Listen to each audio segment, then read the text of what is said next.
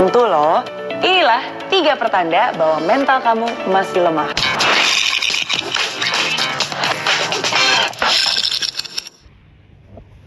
Yang pertama, mudah tersinggung. Dikit-dikit baperan.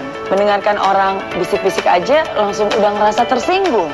Padahal bukan berarti juga dia ngomongin tentang kamu. Nah, kalau kamu dikit-dikit marah, dikit-dikit tersinggung, dikit-dikit ngambek, itu artinya mental kamu masih belum kuat. Kamu masih sangat mudah terpengaruh oleh perkataan dan omongan orang lain. Padahal nggak mungkin kan kamu bisa mengendalikan apa yang orang lain ucapkan kepada kamu. Yang bisa kamu lakukan adalah mengendalikan diri kamu sendiri.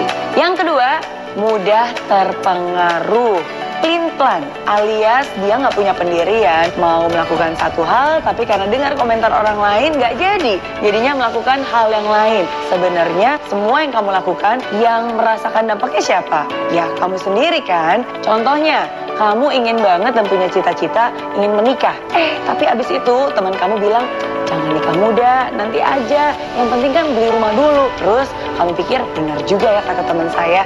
Ya udah deh kalau gitu saya kumpulin uang buat DP beli rumah. Pas lagi DP mau beli rumah ternyata teman kamu yang lain bilang aduh kamu kan masih muda ngapain buang-buang uang untuk langsung beli rumah? Mendingan uangnya dipakai untuk jalan-jalan menikmati masa liburan.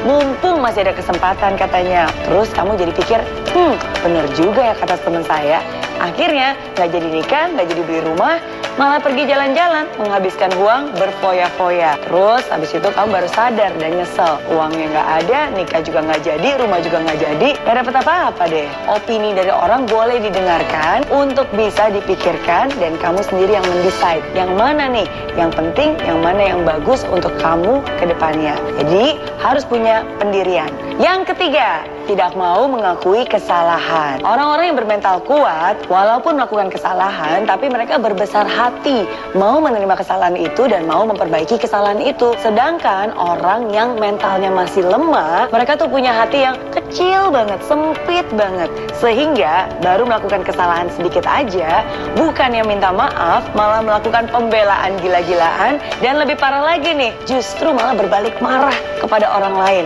dan menyalahkan orang-orang sekitarnya. Jadi, kalau kamu serius banget pengen sukses, harus kuatkan mental. Apalagi anak muda. Karena kalau mentalnya mental lemah, mental cengeng, begitu jatuh sedikit aja langsung pecah, mana mungkin bisa berhasil. Nah, jadi sekarang mumpung masih ada waktu, mumpung masih bisa, perbaikilah dan jadilah orang yang memiliki mental yang kuat.